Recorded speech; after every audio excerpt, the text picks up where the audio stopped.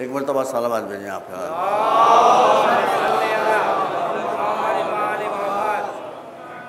अऊज़बिल्लिसमीम मिनशैतानरजीम बसमीम अलहमदिल्लाहि रब्बिल आलमीन। वसलात वसलाम अला सय्यदना व नबीना व शफ़ीना अबिल क़ासिम मुहम्मद आलबीन ताहरीन अलमासूमिन अलहुदात अलमहदीन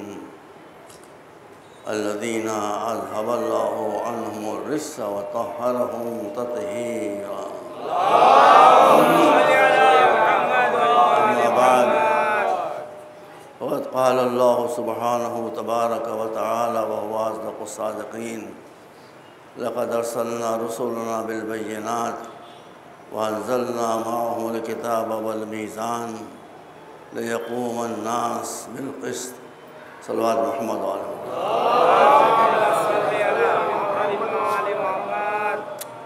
हजरात आज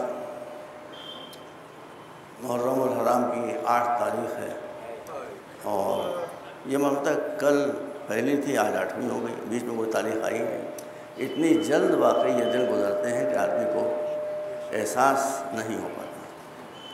बहरहाल, एक बहुत क्रूशल आया था जिसे मैंने आपके सामने पेश किया है, तर्जुमा पेश कर चुका हूँ कई मरतबा। इसका जिस और ख़ुलासा यह है कि जितने भी पैगंबर आए, जितने भी नबी आए, जितने भी मोजात आए, जितनी भी दलाइल बराहीन आई जितनी भी किताबें आई, उनका सिंगल टारगेट था। उनका सिंगल टारगेट ये था कि दुनिया से पूरी आलम इंसानियत से नाइंसाफ़ी ख़त्म हो जाए। अन्याय ख़त्म हो जाए। पूरी दुनिया से ख़त्म हो जाए। ये नहीं कि मुसलमान चैन से रहें, हिंदू बेचैन रहें। ऐसा नहीं। अल्लाह का बनाया हुआ दीन है जो सबका है, लिहाजा उसका दीन सब के लिए होगा। उसका फ़ायदा सबको पहुँचेगा। इसके बारे में कई बातें मैं आपके सामने ज़ाहिर के आज आठवीं तकरीर अर्ज़ कर चुका हूँ। मैंने हमेशा आपसे कहा कि अगर आप मुझसे मजलिस के बाद सवाल करें तो मुझे बड़ी खुशी होगी। अभी तक किसी ने कोई सवाल किया नहीं, भाई ये मुनासिब बात नहीं है। मैं जो कुछ पढ़ूँगा उससे आपको मेरी जहालत का अंदाज़ा होगा, आप जो सवाल करेंगे उससे आपकी काबिलियत का अंदाज़ा होगा। उसको शर्मानी कौन सी बात है? तो आज बहुत से, माशाल्लाह, हमारे सामने स्कॉलर्स यहाँ तशरीफ़ फरमा हैं। उनसे तो मैं नहीं कहूँगा सवाल करें, वो सवाल करेंगे, मेरी खाल उठा हो जाएगी, भाई। लेकिन बहरहाल, वो भी अगर कोई सवाल करना चाहें तो मैं जवाब दे सकूँ दूँगा, वरना बाद में स्टडी करके उसको मैं बता दूँगा कि पोजिशन जो है वो क्या है। मुख्तसर यह है कि इस्लाम सब कुछ बर्दाश्त कर सकता है, जो नहीं बर्दाश्त कर सकता वो अन्याय किसी के साथ भी अन्याय बच्चे के साथ अन्याय नहीं, बूढ़े के साथ अन्याय नहीं औरतों के साथ अन्याय नहीं, मर्दों के साथ अन्याय नहीं, सादात के साथ अन्याय नहीं, हालाँकि सबसे ज़्यादा सादाती अन्याय करते हैं दूसरों के साथ। ये एक अलग मसला है। गैर सादात के साथ, किसी के साथ, जानवर के साथ नाइंसाफ़ी नहीं, दरख्तों के साथ, मैं इशारे कर चुका हूँ आपके सामने। दरख्तों, नाइंसाफ़ी का किसी को उसका हक और अधिकार आप नहीं नहीं करते आप। ज़मीन तक का हक बताया मौलाना, मैंने बताया था आपके सामने, उसका भी हक आपको देना है। अब इस वक्त सूरत हाल ये है कि आज शाम को हमें कुछ लोगों ने बताया कि यहाँ मजलिस आप पढ़ रहे थे और हम उधर से आ रहे थे। तो कुछ वहाँ मसायब शुरू हो चुके थे, वो जब पहुँचे तो उन्होंने देखा कुछ सुन्नी हजरात बाहर खड़े हुए रो रहे थे। मजलिस में रो रहे थे, बाहर खड़े हुए। तो उनका आप रो रहे हैं तो मजलिस में कौन जाता डर लगता है। दैट्स वेरी बैड हुसैन पर रोने वाला मजलिस माने से डरे इससे ज़्यादा बदतर बातें होंगी। भाई जिम्मेदार में बताया कि वो सड़क पर खड़े हुए थे बेचारे अब सूरज से जान था कि सुन्नी कौन है शिया कौन? वो रो रहे थे मसाहब सुन के। तो कहा मजलिस में आई कहा मजलिस में जाते हुए डर लगता है। ये यजीद का दरबार नहीं है फातिमा का दरबार है। यहाँ जो आए खुशी के साथ आए। उसकी इज़्ज़त उसकी आबरू सब सेफ़ है बिल्कुल।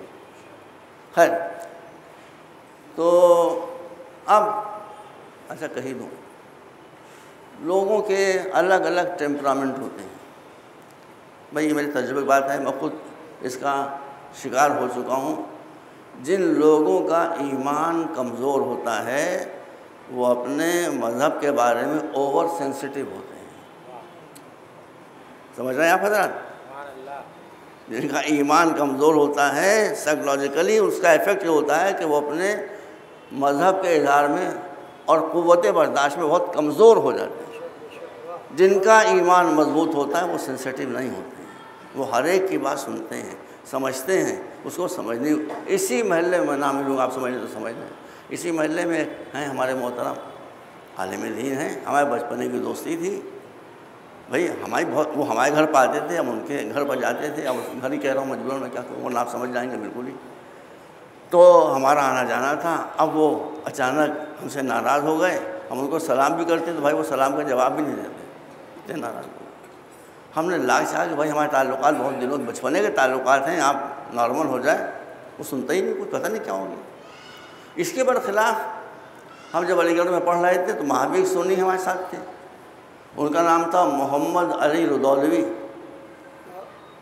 अरबिक में दो स्टूडेंट थे, एक मैं था, एक वो थे। अब बताइए, दो आदमी अरबिक में, एक मैं, एक वो, अब वो मुझसे फूले। अब मैं कंफ्यूज नर्वस कि क्यों मुझसे फूले? मुझसे तो इनसे मुलाकात भी नहीं हुई, वो फूले में पहले से। अब दो ही आदमी कब तक फूले रहे भाई? दो आदमी जब होते हैं तो आखिर में फिर एक रोने लगता है। अब आप समझे चाहे ना समझे।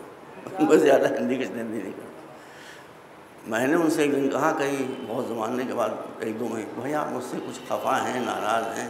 कहा हमको बताया गया है कि आप लोग बहुत ख़राब होते हैं। तो हमने कहा आपको बताइए होंगे ख़राब लेकिन आपने अभी एक महीना दो महीने में कोई हमारी ख़राबी देखी? कहीं हमने ख़राबी देखी तो नहीं। तुमने कहा आप देखने पर यकीन करेंगे या सुनने पर यकीन करेंगे? भाई वो बहुत नहीं अभी उसका बेचारे का इंतकाल हुआ। वो असिस्टेंट प्रोफेसर हो गए थे में। अभी उनका बेचारे का इंतकाल हुआ रोजौदी में तो अब वो हमारे साथ होगा बेतकल्लु होगा कल हमको तो बिल्कुल उल्टा बताएगा तो आप तो बहुत जेंटल आदमी बहुत शरीफ आदमी हँसते बोलते हैं, मज़ाक करते हैं, कोई ऐसी बात नहीं करते, हमारी दिलादारी हो खैर वो गुफ्तु बातें होती हैं अब वो हमारे पक्के दोस्त हो गए भाई। हम लखनऊ आ गए तो लखनऊ से मिलने के लिए आते थे, बहुत नए आदमी। एक दिन वो हमसे कहने लगे, मौलाना साहब, आप एक बात बताइए ये क्या प्रॉब्लम आ गई कि शिया सुन्नियों में इतना इख्तलाफ हो गया? काहे का डिस्प्यूट हो गया? तो मैंने कहा, देखिए, अभी तक खैरियत है। हमारे आपकी दोस्ती इसी पर चल रही है कि हम लोग मजहबी बहस नहीं कर रहे आप अपने घर खुश, हम अपने घर खुश। हंस रहे हैं, बोल रहे हैं, चाय पी रहे हैं, नाश्ता कर रहे हैं, सब साथ साथ। कह रहे, नहीं, ये बताइए, आखिर कौन सी ऐसी प्रॉब्लम आ गई कि लाइब्रेरियाँ भरी हुई हैं डिस्प्यूटेड मैटर से? किताबें भरी हुई हैं। मैंने उनका नाम मोहम्मद अली था, बेचारे का मैंने कहा, मोहम्मद अली साहब, बात यह है कि जब कोई शय मौलवियों के पास आ जाती है तो फांस का बात बन जाती है। नहीं, यही कौन सी? फांस का बाँस बन जाती है। पहले आप बताइए। हमने कहा, देखिए, असल बात यह है, आप हमारे जिगरी दोस्त हैं, हमें हम भी उससे मोहब्बत हो गई एक आदमी थे, उनको हम, हमने कहा, आप अगर बुरा ना माने तो हम कहें। क्योंकि अब इख्तलाफी मामला, हम कुछ बात आपको नागवार हो ही सकती है। नहीं, बिल्कुल बुरा नहीं मानूँगा। मैंने कहा, ये जो आप कह रहे हैं कि इतना इख्तलाफ इतना इख्तलाफ हमारे और आपके दरमियान डिस्प्यूट है ही नहीं कोई। सिर्फ़ एक अल्फ़ाबेट का डिस्प्यूट है, एक हर्फ का डिस्प्यूट एक हर्फ not a word not a paragraph एक वर्ड नहीं, एक हर्फ एक अल्फ़ाबेट का डिस्प्यूट है। कहने वो कौन सा अल्फ़ाबेट मैंने कहा, मैं आपको बताता हूँ, वो जो आपके एक बहुत मोहतरम शख्सियत थी जिन्होंने बार बार फरमाया कि लौला अली लौला अली लौला अली। वो अगर एक मरतबा मौला अली कह देते सारा पैसा खत्म हो सलमान मोहम्मद वाले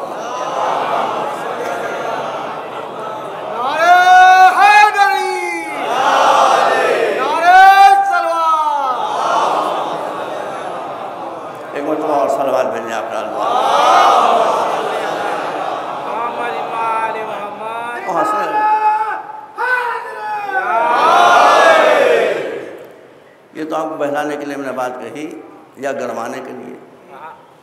असल बात यह है कि इस्लाम ने किसी के साथ न नाइंसाफ़ी की है न नाइंसाफ़ी करने की इजाज़त देता है।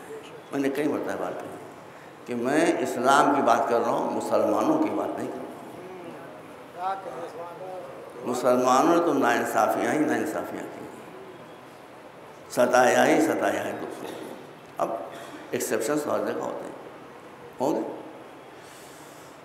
तो इसी तरह बात बढ़ते बढ़ते कल मैं यहाँ तक पहुँचा था कि इस्लाम ने औरतों के साथ, लेडीज़ के साथ, महिलाओं के साथ कोई इनजस्टिस नहीं की।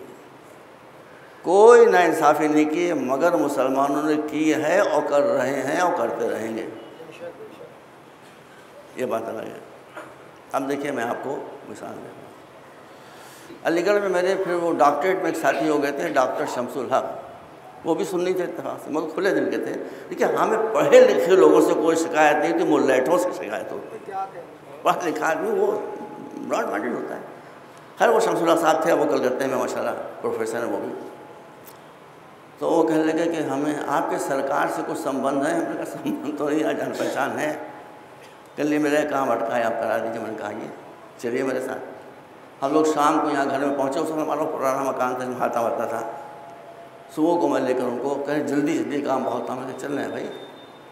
अब हम अपनी डोरी से बाहर आए हाथे में। हमने कहा, चलिए।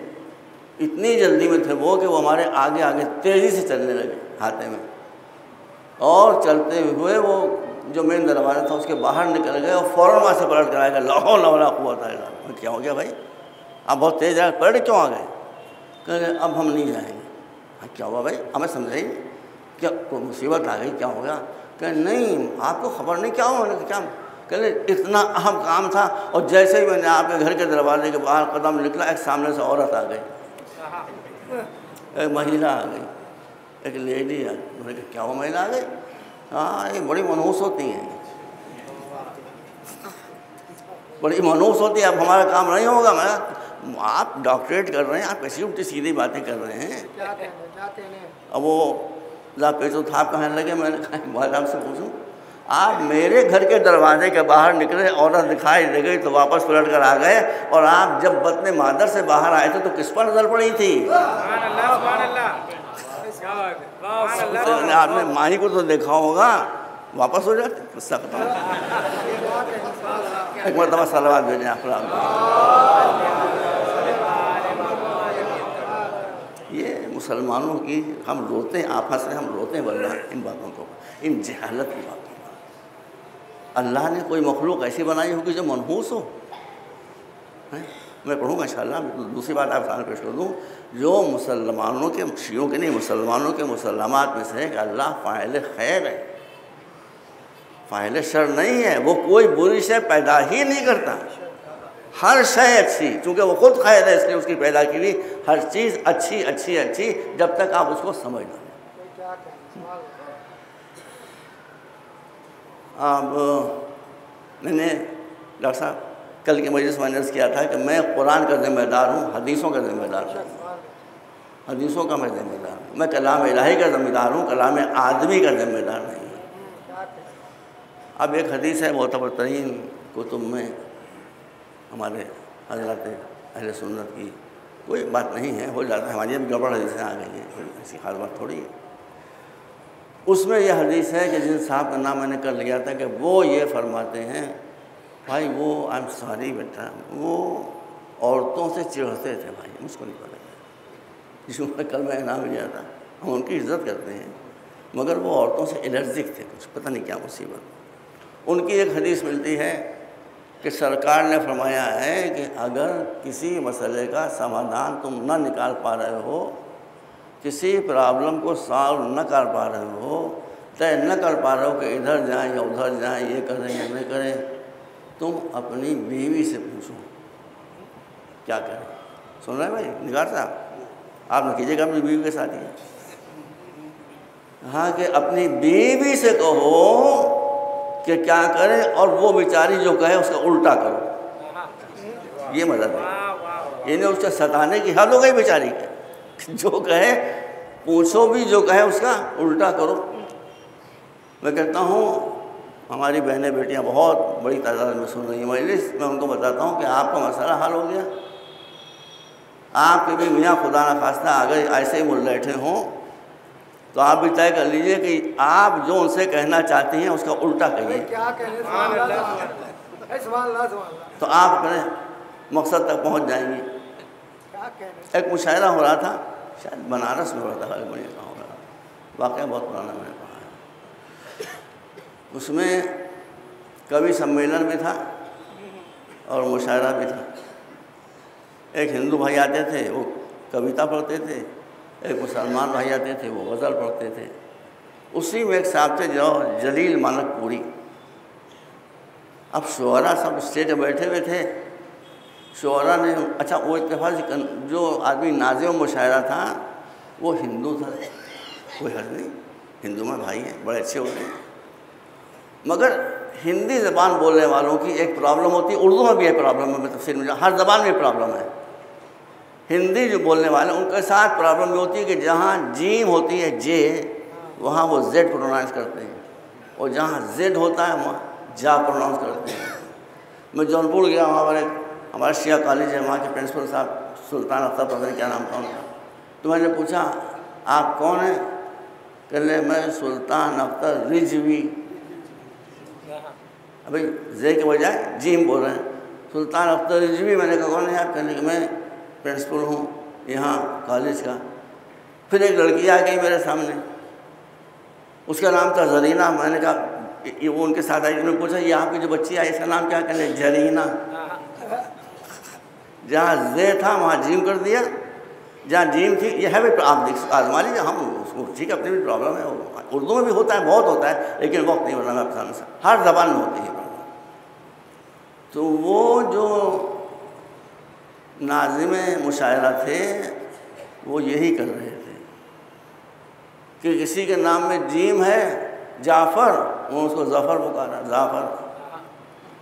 और किसी के नाम में जे है, उसको उन्होंने जीम पुकारा। तो लोगों ने कोहनिया मार मार कर जलील साहब से कहा कि जलील साहब अभी नाम जलील है ना तो कह ये आपको जलील करके रहेगा। ये आपको जलील करके रहेगा। अरे वो बड़े तेज आदमी करे क्या मज़ा लो, जलील करे। ये मेरा सही नाम रहेगा। और वही हुआ कि उस दो तीन आदमी के बाद जब उनका नाम आया तो बिल्कुल उसका सही नाम लिया कि मैं जलील मारकपुरी के हिसाब से निवेदन करता हूँ कि वो पधारें। लोगों ने कहा, आप जाइएगा बाद में, पहले बताइए मेरेकल कैसे हुआ? ये चमत्कार कैसे हुआ? उसने आपको जलील क्यों नहीं बताया? मैंने उसको अपना नाम जलीली लिख के दिया मैंने उसको जलील लग के दिया था उसने जलील वहाँ पर जाकर पढ़ा ये बुरी बात है ऐसा नहीं करना चाहिए। आप एक पूरे तबके को इस्लाम से नाराज़ कर रहे हैं। आप सुन्नी हजरात हमारे भाई हैं भाई हमारे सर आँखों पाकर बैठे हैं हम उससे पूछना चाहते हैं आपकी गैरत क्या इस बात की इजाज़त देती है कि रसूल कंट्राडिक्टरी बात करेंगे? मुतजाद बात कहेंगे, आपसे कहेंगे, कुछ खुद करेंगे, कुछ।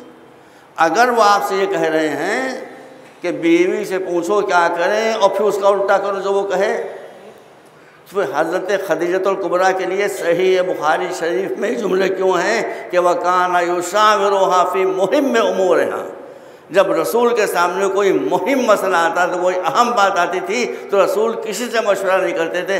अपनी बीवी उम शर्मा से मशवरा। तो इसका मतलब है कि औरतें इतनी जहीन होना चाहिए कि अपने शोहरों को मशवरा दे सकें। सलमान पर मोहम्मद देखिए, कल तो मैं ये सब बातें पढ़ नहीं पाऊँगा कल शब आशू है। इसलिए आज मैं थोड़ा वक्त और इस मसले पर दूँगा बाकी आपको आज़ादी है। आप चाहे टेलीफोन पर मुझसे डिस्कस कर लें, चाहे ईमेल भेज दें, ये बहुत लेंथी सब्जेक्ट है। But I am also fully prepare to discuss this problem आप मुझसे गुफ्तू कर सकते हैं, या ईमेल पर कांटेक्ट कर सकते हैं। अब देखिए, औरत को मुसलमानों ने कितना जलील किया है। मैं इस्लामाबाद में इसी टॉपिक पर तकरीर कर रहा था। एक साहब खड़े हो गए। कहने लगे, आप इतनी बातें बता रहे हैं, मगर हमारे यहाँ तो हमारी जो तारीख़ है वह हदीस है बताती है कि इस्लाम के पैगंबर ने कहा है कि अगर अभी आपको भी मालूम होगा, मैं नई बात थोड़ी बता रहा हूँ कि पैगंबर इस्लाम ने फरमाया है कि अगर अल्लाह के अलावा किसी और को सजदा करना जायज़ होता तो मैं बीवी को हुक्म देता कि वो अपने शोहर के सामने सजदा करे। छुट्टी हो गई। है, सुना है आपने नहीं सुना? मशहूर बात है कि रसूल तो अब जब उन्होंने कहा कि रसूल ने फरमाया है, मौलाना ये आप इसका क्या जवाब दे देंगे? रसूल ने फरमाया है कि अगर अल्लाह के अलावा किसी और को सजदा जायज़ होता तो मैं बीवियों को हुक्म देता कि वो शोहरों से, शोहर को सजदा करें। तो मैंने कहा, रसूल ने फरमाया है कि रिवायत ने कहा है कि रसूल ने कहा। रसूल कहा तो सुना थोड़ी है बोल कहली रिवायत है? तो मैंने कहा, रिवायतों की रिवायत में न पढ़िए। वहाँ दे आर ऑल प्रॉब्लम्स हमको तकाबुल करके देखना। ये तो रिवायत है, मगर शरीयत का हुक्म क्या है? उससे मुकाबला कीजिए। अगर उससे तायद हो रही तो बेशक और उससे कंट्राडिक्शन हो रहा तो कैसे आप कहेंगे? तो मैंने कहा, ये रिवायत है, ज़रूरी थोड़ी कि सही हो। और मैंने कहा, सही क्या? सही ये है कि हमारी शरीयत का हुक्म है कि जब शौहर अपनी दुल्हनिया को लेकर अपने घर जाए तो पहले वज़ू करे, उसका आँचल बिछाएँ, आँचल पर नमाज़ पढ़े। तो जो शरीयत दूल्हा को हुक्म देगी कि दुल्हन के आंचल पर नमाज़ पढ़े वो वो औरत को शोहर को सजदा करने का हुक्म कैसे दे सकती है? सलमान पर मोहम्मद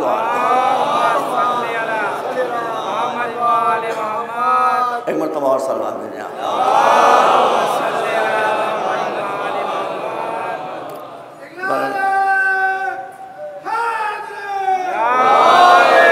और बहुत सी बातें हैं मैं कुछ आपको बता गवाही के सिलसिले में लोगों को शुबा है, मेरे पास की एक्सप्लेनेशन है। विरासत के बारे में लोगों को शुबा है, उसका एक्सप्लेनेशन मेरे पास है, सब है, लेकिन अब इस वक्त उन बातों के निकाह के बारे में, तलाक़ के बारे में, हमारा जो, देखिए, आजकल मसला उलझा हुआ है ट्रिपल तलाक़ का। हम इसके बारे में कोई कमेंट करना नहीं चाहते, क्योंकि कंट्रोवर्सल चीज़ है ये। मगर आपको मालूम है कि हमारे जो अहल सुनत हजरात हैं उनके यहाँ ट्रिपल डाइवोर्स है अलाउड है।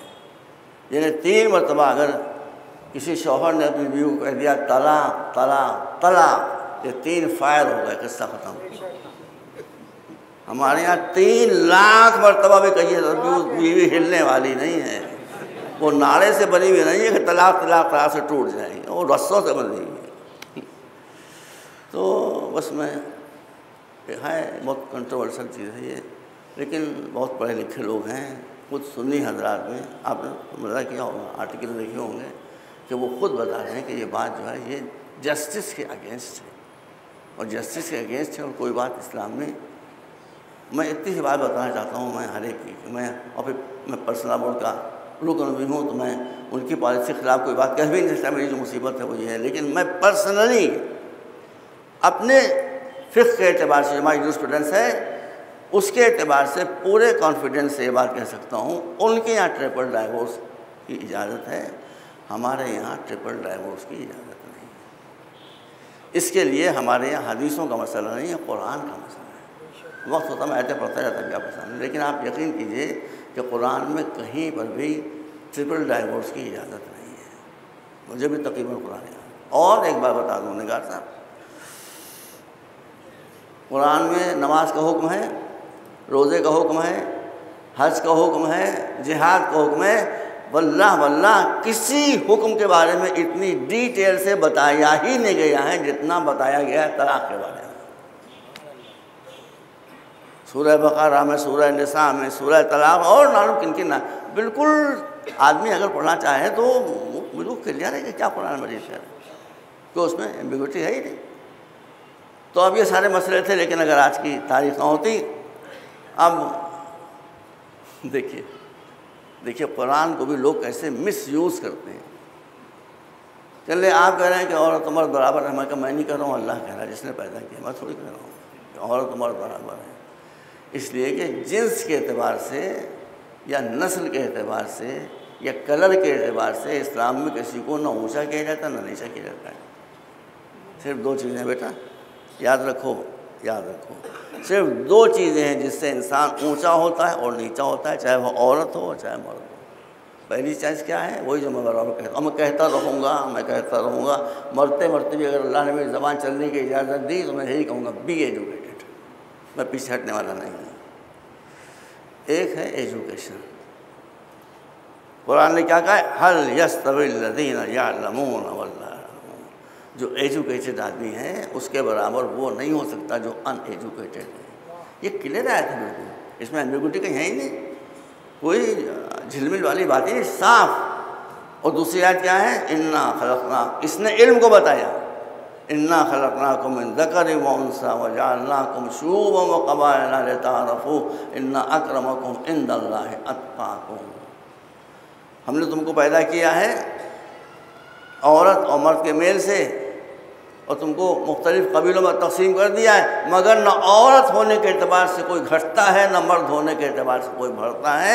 इन न आक्रमकुम अताकुम जिसका कैरेक्टर अच्छा हो वो ऊँचा हो।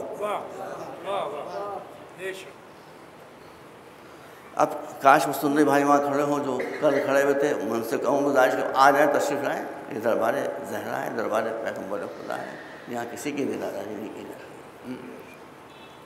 अब आप मज़ा फरमाइए कि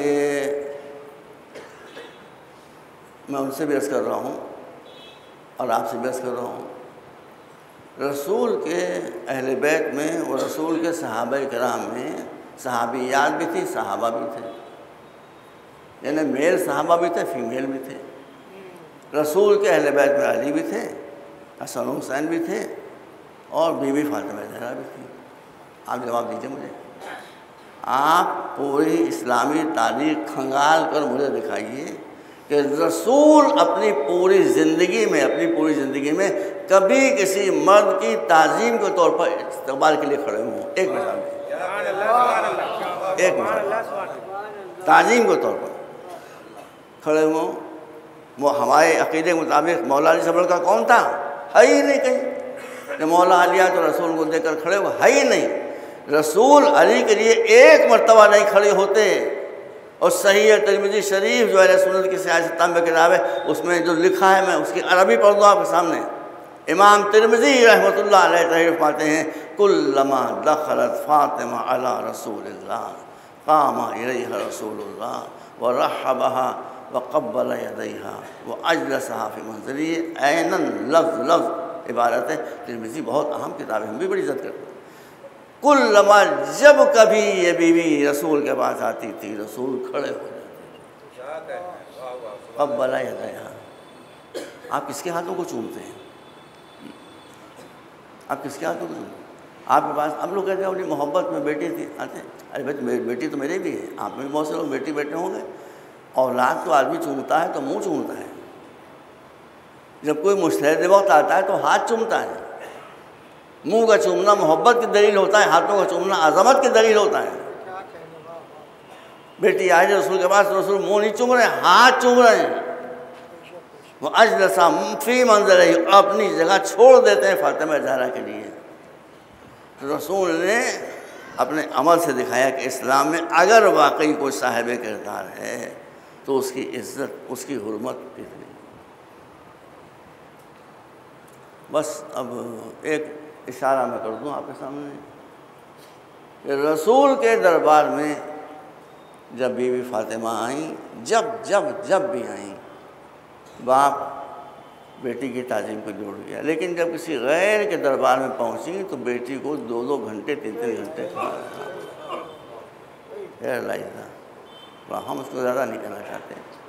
मगर ये मुसलमात एक बीवी फातिमा को आप पकड़े रहिए पकड़े रहिए बीबी फातिमा को। एक बीबी फातिमा पकड़े रहिए सारे मसले हल हो जाए आज ही मैंने देखा, इससे पहले भी देख चुका था, लेकिन आज फिर मेरी नज़र पड़ गई।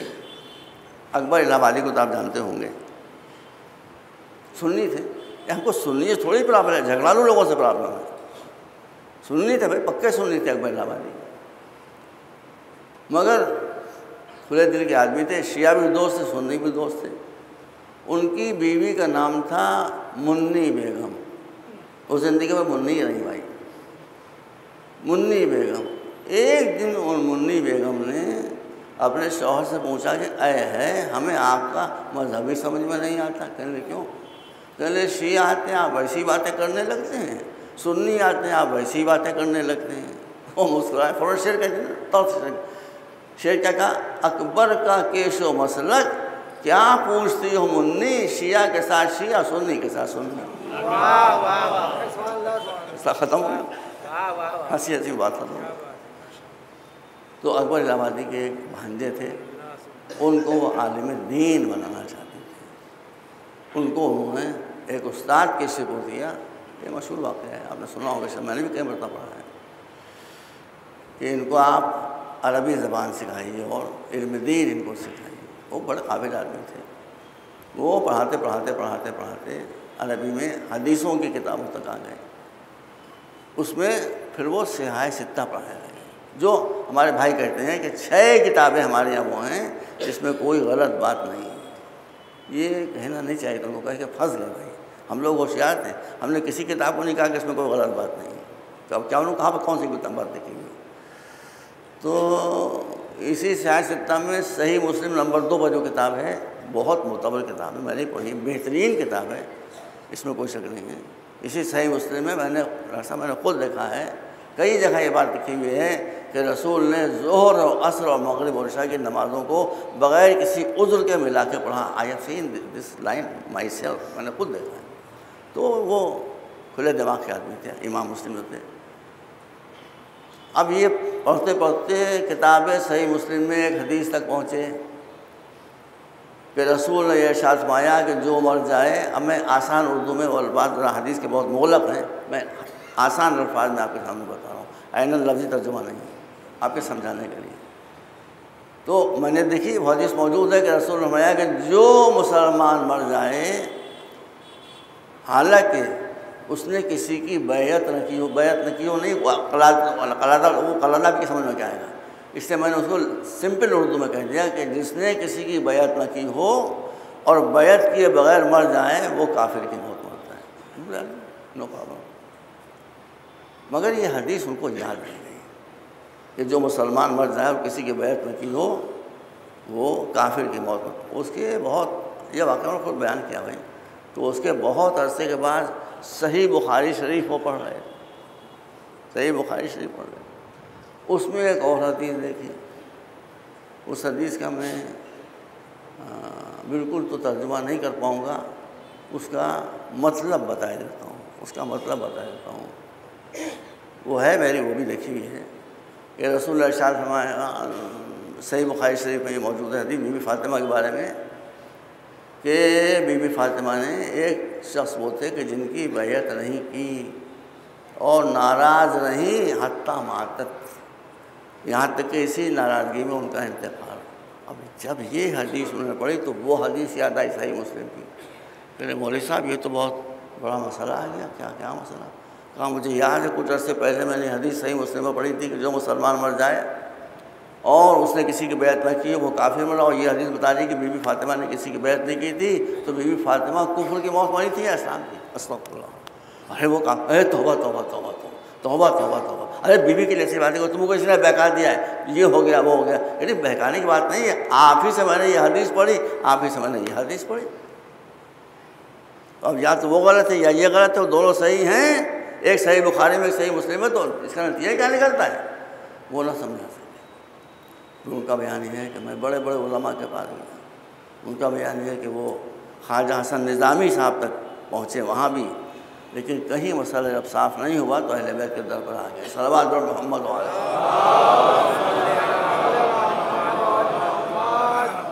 बीबी फातिमा के दामन पकड़े रही है। बीबी फातिमा की बड़ी अजमत है। अहले सुनत से राज़ी बड़ी उनसे मोहब्बत करते हैं, बड़ी उनकी कदर करते हैं, बहुत उनकी इज़्ज़त करते हैं। ये ये ख़ानदान अहल बैत है जहाँ मर्दों के साथ साथ बड़ी मोहतरम और मुक़दस औरतें पैदा अब जनाब पैगंबर इस्लाम की एक हदीस और है ये भी सही बुखारी में है कि अल्लाह फ़ातिमा की रज़ा से राज़ी होता है और फ़ातिमा के गज़ब से गज़बनाक होता है।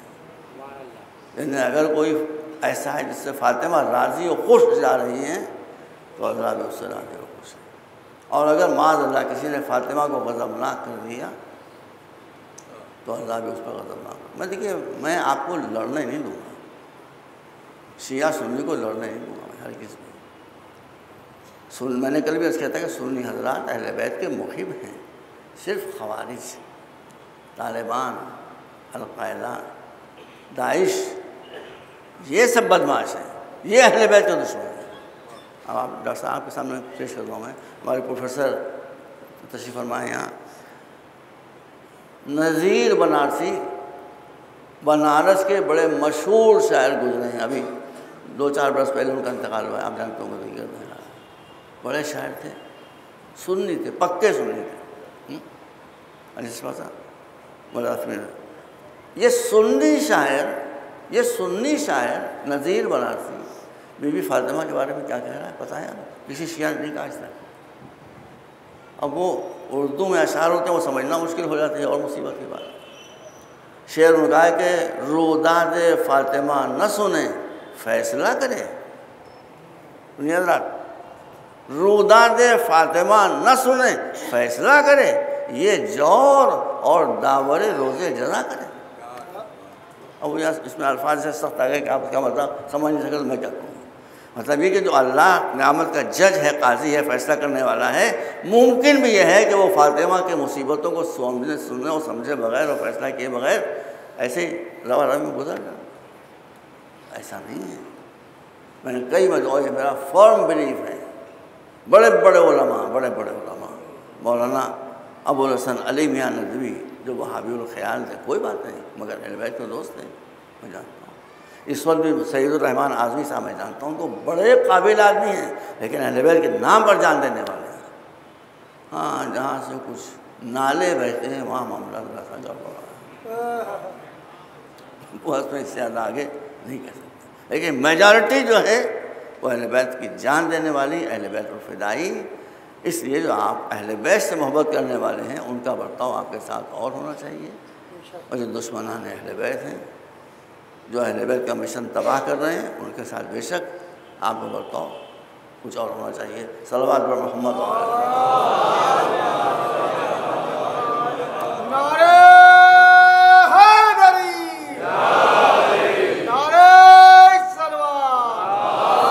मगर बस मगर इस्लाम क्या कहता है? इस्लाम कहता है खुजुल हिकमा वलो मन फम मुशरक। एक आदमी मुशरक है, मूर्ति पूजा कर रहा है। वो मैं कभी और बोलूँगा कि हिंदू मुशरक नहीं होते, वो बात अलग मैंने स्टडी किया है इसको।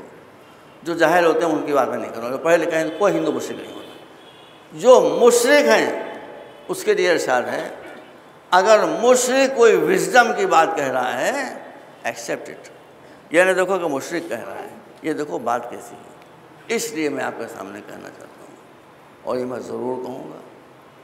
आप शादी की रस्मों में देवबंदी हजरात के फॉलोअर हो जाइए अगर आप मुसीबतों से बचना चाहते हैं, इस मसले में वो इस्लाम के तालीमत पर अमल करते हैं। मैंने देखी कई शादियाँ उनकी। आपके यहाँ शादियाँ कहाँ होती हैं? Convention centre, Balrampur garden Moti Mahal garden. अब और बहुत से पता अल्लाह मल्ला में कोई जाता होता नहीं। इन जगहों पर आपकी बच्चियों की शादियाँ होती हैं। उनकी हर शादी मस्जिद में होती है। मस्जिद में कोई गलत बात हो ही नहीं सकती। चंद आदमी गए, सुनने तरीके से निकाह हुआ, दुल्हन दूल्हा के घर में चली गई, न चौथी, न चाला, न बड़ी, न बारात। पता वो क्या क्या रस्म होते मुझे खुराफा तो मालूम नहीं किसी शय की गुंजाइश ही नहीं जब आप अल्लाह के घर में पहुँच। इसलिए ये जो कमर तोड़ अखराज हैं आपके शादियों में ये पूरी आपकी सेफ्टी हो जाती है। इतमान से शादी होती है शादी करना भी आसान है दुल्हन का निभाना भी आसान है। अब अगर आप इजाज़त दें बीवी आपकी भड़क तो नहीं जाएँगे? ये हमारे दोस्त बैठे ने कहा सभी को मैं टारगेट बनाया हूँ। डरिए डरिए जो मैं बता रहा हूँ। आपने देखा जब शिया समाज में शादी होती है, सारा खर्च किसके ऊपर?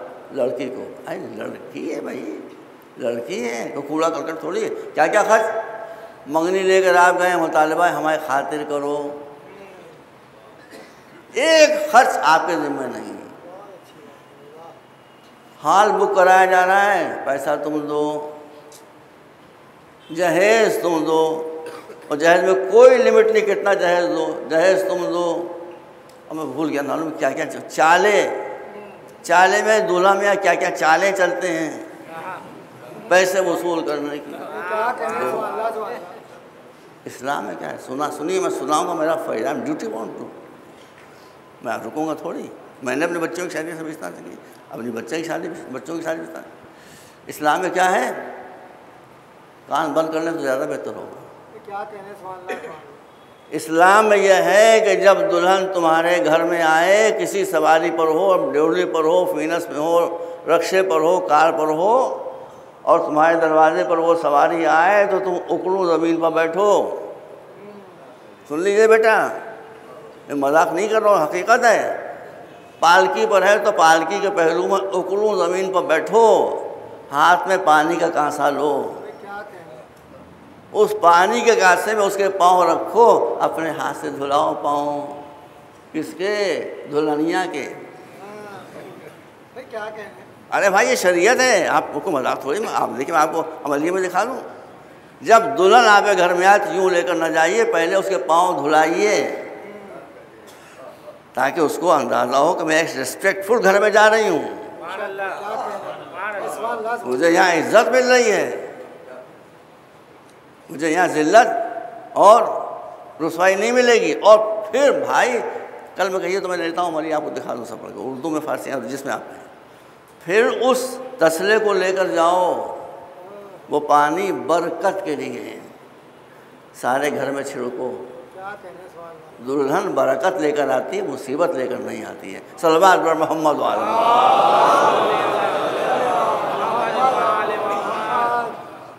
अब बताइए मुसलमानों ने उसको जलील किया। बेचारे को इस्लाम ने कहीं से भी उसको जलील नहीं किया है, न जलील किया जा सकता है। This against the spirit of Islam मगर इतना मुझे आपसे शिकवा ज़रूर है।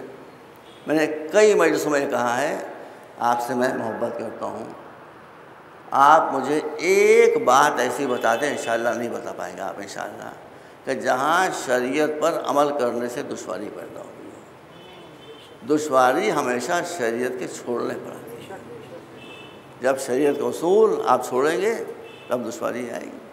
आज भी देख लीजिए, लड़कियाँ फरियाद कर रही हैं, बाप मर गए। अरे अभी यहीं का किस्सा गादी मंडी का बता रहा हूँ। पुलिस पुलिस मारे मारे बोले मार खा जाऊँगा, लेकिन मैं रुकूँगा थोड़ी। किस्सा मुझे भी तीन चार दिन पहले बताया गया, एक लड़की मफलूज है बेचारी। अब मुझसे कहा गया, सही है तुम्हें नहीं जानता। कभी परसों बताया गया। भाई ने फ़कत इसलिए कि इसको मीरास में बाप की हिस्सा ना मिले, उसको मारते हुए पुलिस चौकी पर ले गए, वहाँ जाके बैठा जाए जो खुद पुलिस है। दिस नॉट दिस हराम दिस सिन आप बहन को मिराज से महरूम क्यों दे रहे कैसे महरूम क्यों दे रहे हैं इस्लाम में बहन भी मिराज की हकदार होती है, ना उनकी बहन, मरने वाले की बेटी। बेटी जैसे इस्लाम में इसके लिए यहाँ मुतालबा गवर्नमेंट से क्या जा रहा है क्योंकि जो ज़मींदारी का सिस्टम है, उसको ज़मींदारी में बेटी का हिस्सा नहीं होता। This against the law of शरिया इसमें कोई डिस्प्यूट थोड़ी है। आपको देना पड़ेगा उसका हिस्सा। इसलिए जब आप शरीयत को छोड़ेंगे तो मुसीबत फंसेंगे। शरीयत पर अमल होगा तो सब चैन से रहेंगे। सलाबाद पर मोहम्मद वाल। अब और वो गवाही का किस्सा था ये था, वो था बहुत उसमें बहुत देर हो जाएगी। लेकिन एक जस्ट आपको आइडिया हो गया होगा। कि इस्लाम ने औरतों को जलील नहीं किया है, अपमानित नहीं किया है। हाँ मुसलमान कर रहे हैं और इन करते रहेंगे। जब रसूल की वफ़ात के बाद बीबी सैदा का ये शार हुआ कि बाबा को याद कर करके रो रही हैं। और बस मैं अरबी में शेर पढ़ रहा हूँ तर्जमा नहीं करूँगा, सुब्बत अलिया मसाए बोलना सुब्बत अयाम सिरना लिया तर्जमा नहीं करूँगा। तो फिर और बच्चियों के हमारे गलत लेकिन खुदा के लिए रहम कीजिए। बस आखिरी बात कह रहा हूँ, यह सही हदीस है कि रसूल फरमाया, मन ला यरहम, ला युरहम। जो दूसरों पर रहम ना करे, वो हमसे रहम की भीख नहीं मांगे। हम हरगिज़ उस पर रहम नहीं करेंगे जो दूसरों पर रहम नहीं करें। ये बच्चे आपके दिल के टुकड़े हैं सब। हमारे दिल के टुकड़े हैं। इनको आप सताइएगा और फिर अल्लाह तब तक वो दुआ कीजिएगा। अब शिकायतें कीजिएगा, इतनी दुआ मांगने कुछ नहीं, कैसे होगा? आप अगर जालिम है तो अल्लाह कोई दुआ भी नहीं सुनेगा सबसे पहले अपने सलूक को बदलिए। इंसानों के साथ अच्छा सलूक कीजिए खास तौर पर बेटियों के साथ, बहनों के साथ, भांजियों के साथ, भतीजों के साथ, उनको अपना दिल का टुकड़ा समझिए। और सांसों से भी मेरी गुजारिश है, सांसों से। सांस ये नहीं रही ये सांस नहीं, सास। सासों से मेरी गुजारिश है, बहू से भी मेरी गुजारिश है कि सास जब बहू को लेकर आए घर में अल्लाह का शुक्र करे कि एक बेटी हमें मिली है। और बेटी भी जब सास को देखे तो समझे कि एक माँ हमको मिली ये अगर उसूल बन जाए कि हर बहू अपनी सास को माँ समझे और हर सास अपनी बहू को बेटी समझे इन कोई झगड़ा नहीं होगा। सलाबाद मोहम्मद वाला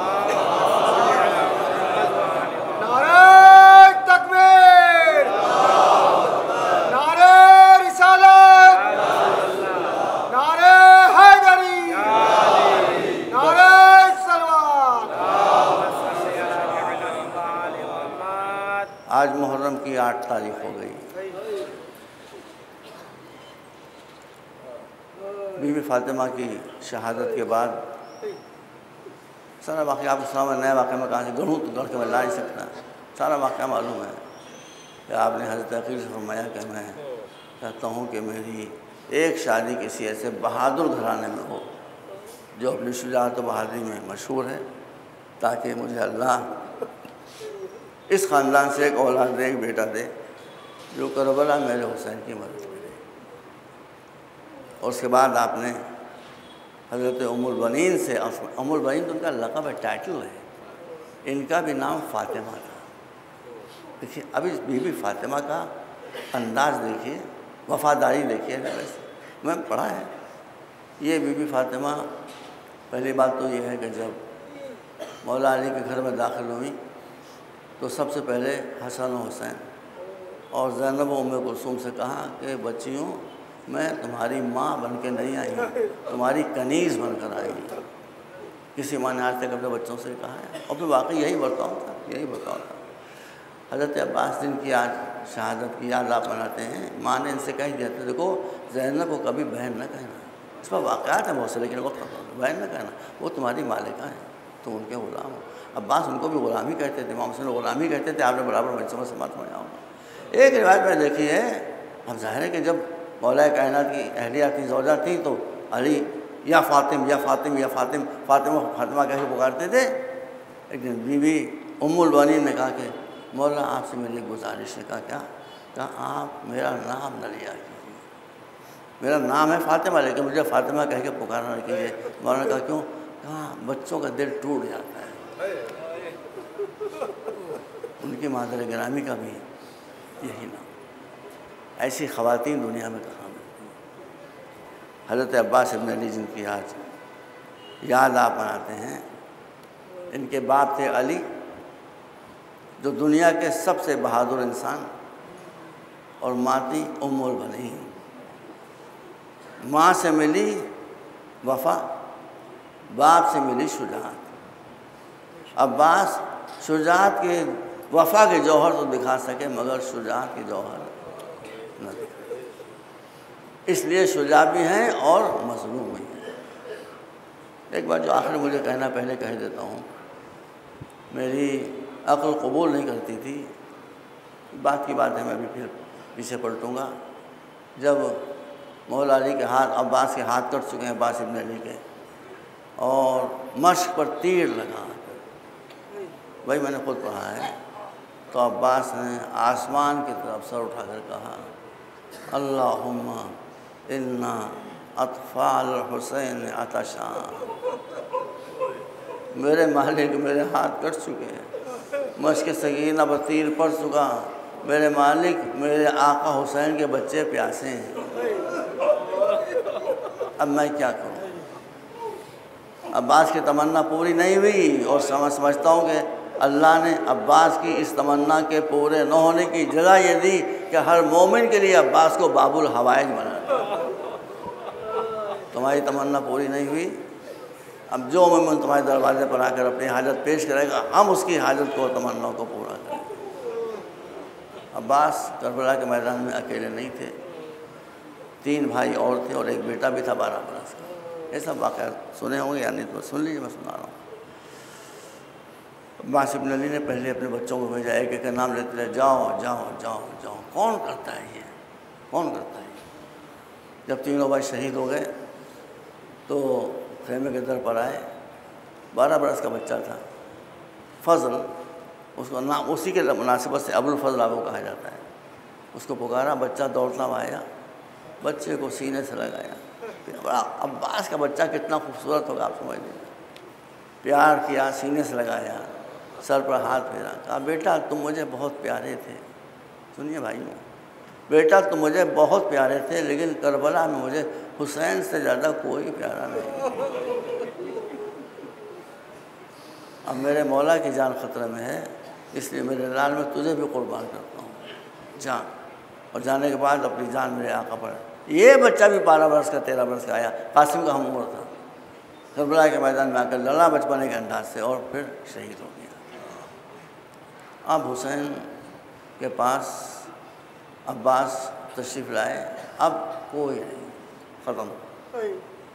एक अट्ठारह बरस का बेटा है एक बत्तीस बरस का भाई सन्नाटा आए और आने के बाद ये सब सोचने के मरहले हैं। ये सब सोचने के मरहले अजी सत्य हम कर सकूँ आप बताइए तारीख वाक़ात भी इसके? तारीख वाक़ात मैंने पढ़े जब बेटा सख्त बीमार होता है, चहीता बेटा तो बाप तड़प कर ये दुआ करता है, पालने वाले मेरी उम्र इसको दे दे। ये बच जाए, मैं मर जाऊँ। वहाँ उल्टा मामला हो रहा है। अब्बास आए कि आका, मुझे मरने की इजाज़त दे दीजिए। ये कौन अब्बास है? जंग सफ़ीन में इमाम हुसैन को प्यास लगी। आपने किसी और से पानी लेकर आओ। लेकिन कब्र इसके पानी मैं पढ़ के आपके सामने चलाऊँ कब्र इसके कि वो इमाम का चाहने वाला पानी लेकर आए।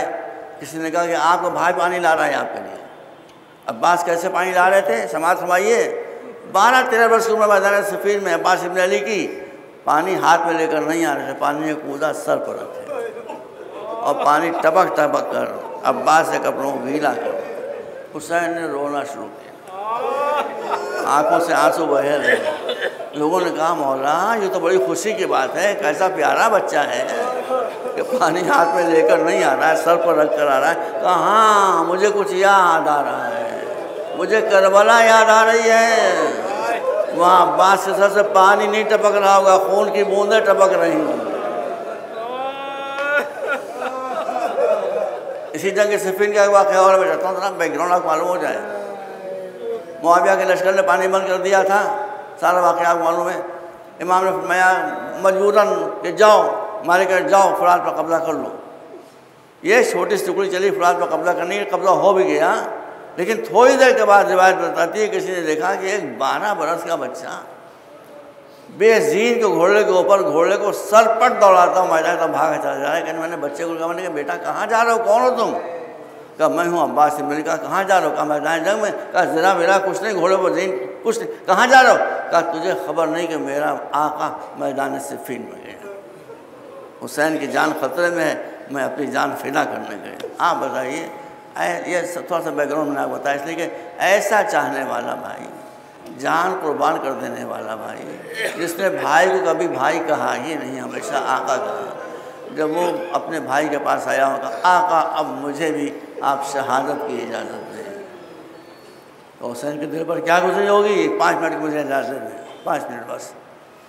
हुसैन ने कहा, दो बातें कही। कहा, देखो अब्बास, एक तो तुम्हें लश्कर के लमदार हो। फ़रा, यमीन व शमाला। जब इमाम ने यह कहा कि मेरे लश्कर के रमदार हो तो अब्बास ने इधर देखा इधर देखा।